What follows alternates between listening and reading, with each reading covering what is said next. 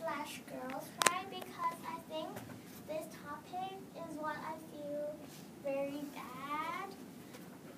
for for women's rights. So I don't understand why women don't get the same rights as men, but since now many women um, have speak or give speech for this particular topic,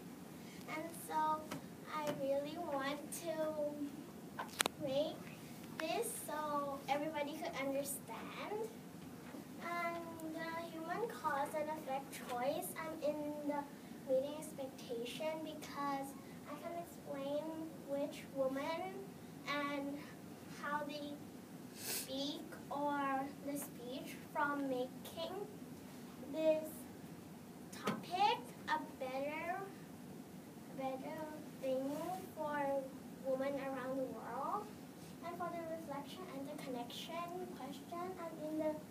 beginning to meet I can I know which which um internet or the sources I use, but sometimes I don't really get what the source say. And also for the connection, I don't think I could help with this because I'm still in elementary,